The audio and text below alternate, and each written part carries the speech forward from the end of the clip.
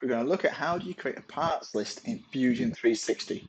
Uh, to start with, we're going to use a exploded view. If you don't know how to do that, go back to the previous tutorial on how to create exploded views.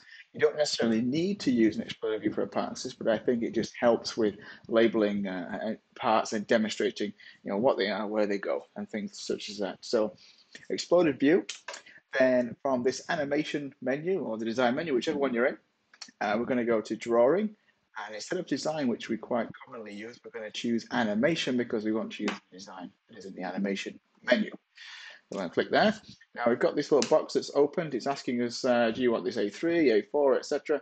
Yes, we want it in millimeters. A3, I probably use more than anything, but for this one, because it's quite a small product and it's just the parts list, we're not dimensioning anything, so we need a little bit less space. I'm going to choose the A4 one. So I'll choose A4 and click OK. So this is A4 portrait. This might take a minute or so to load because it's opening a whole new uh, screen and transferring all that information across.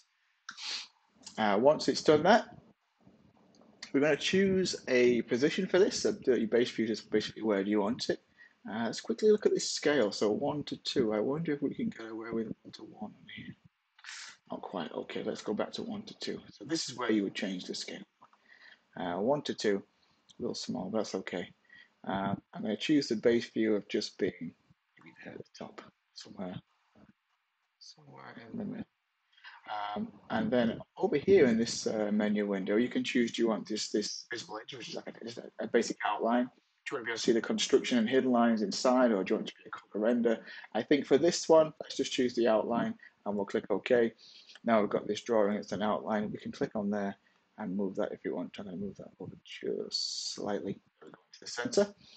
Okay, so we've got our exploded view on there. We've got our actual parts. Now we want to put in this part list. Something that's really important is that to do this, you need to have worked A in separate components, but also B, you need to have told these components um, what they are. So by right clicking on them, you can select physical material and drag and drop different materials on them. Uh, that's also in a previous uh, tutorials, but you need to have done that and made each component aware of what the physical material is if you want that to be included in your parts. It's the same for if you want any names or a description. If you right click on each component and you can change, select properties and you can change the name, the number, and you can add descriptions in there. They will also be populated on the uh, parts list table if you want them to, but you have to put that in there right at the start. It's a good habit to get into. Every time you create a component, a new part, you go into properties, give it a name, type in a description if you need to, give it a number if you need to, and then add the physical material. If you do that for everyone as you're going, when you get to the end, it's not such a task or a chore. Okay, let's assume you've all done that. Now, table, easy peasy. You just literally click this uh, icon at the top that says table, choose where you want it on your uh, page, and then what I'm going to do is just double click on here uh, and we can change some of the settings on this table. So I prefer the headings to go down rather than up. I don't want the part number, but I do want the part name. And in this instance, oh, I will keep the description on actually. Okay, so let's say uh, close. So now we've got this uh, parts list here. Let's get all the materials on there. I'm just going to edit this slightly.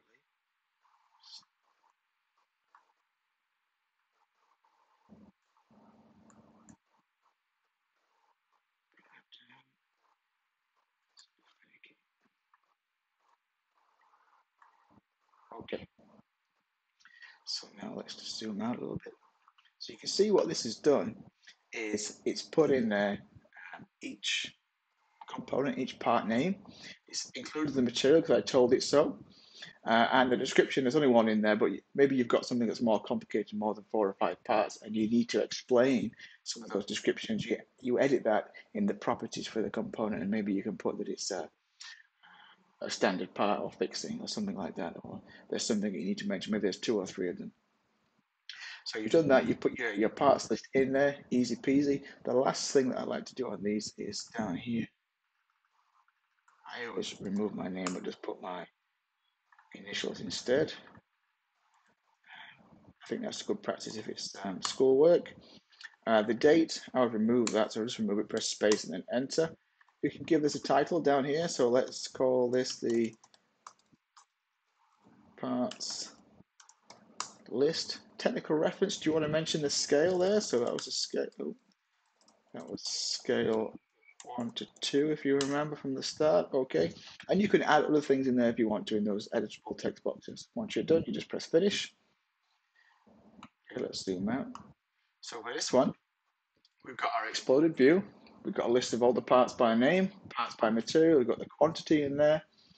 Uh, and again, if there's any more information that you want to put into this parts list, such as the descriptions, you do that as and when you're editing or creating each component. Right click on them uh, and then change the, the properties and, and, physical materials. You change that there. That's not the material you choose in the render menu.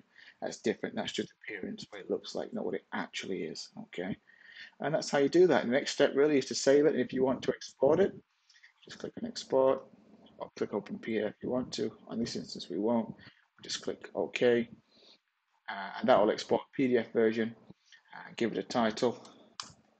Um, and then what you can do is add a screenshot maybe or a, a, an image of the exported file into your portfolio as your, your parts list.